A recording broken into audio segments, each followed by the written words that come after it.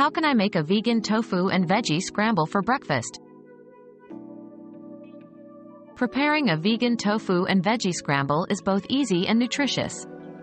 Start by crumbling firm tofu into a pan, mimicking scrambled eggs.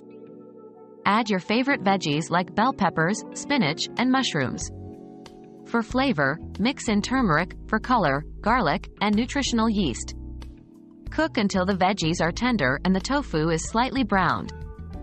This scramble is not only a healthy breakfast option but also a great way to incorporate more plant-based meals into your diet.